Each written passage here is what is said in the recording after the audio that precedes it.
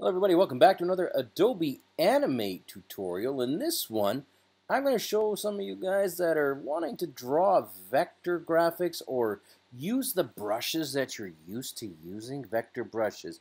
All of these brushes really over here, then from the brush library, you can't really use them in the current iteration of the toolbar. What am I talking about? Let me show you. If you look here on the toolbar, we've got two brush tools. We've got the fluid brush tool, with a fluid brush. And if you just hold that down, you can draw and it looks great and wonderful. I'll Command Z. And then you've also got the standard classic brush tool. And the classic brush, as I just showed you here, has a few different brush types. You can do like the circular kind. You can do, I'll hold this down. You'll see here, there's a few different options. What it does not do, though, is allow you to use the vector brushes and all the cool brushes that you probably used to using in things like Illustrator. Left click on that and let me show you. You'll see the brush library, arrows, artistic, decorative, line art, pattern brushes, vector packs.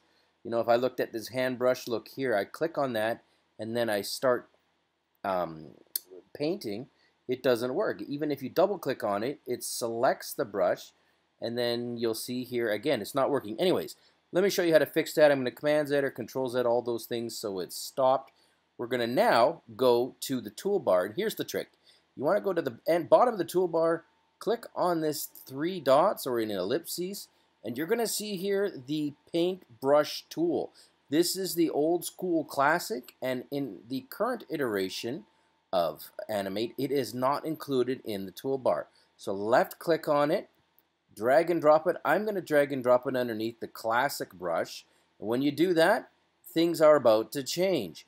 Here it is. Now, instead of clicking on the two here, click on the paintbrush tool, go over to your brush tools, or to your brush library, pardon me, and now pick out something cool. So I'm going to pick out a pattern brush just to show you, I don't know, they've got some interesting ones here.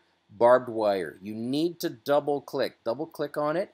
And when you do that and you've got the correct brush, which is the paintbrush tool, and you start painting, you're going to see something very cool. It's back. This is how you do it. I'm going to Command Z, Control Z.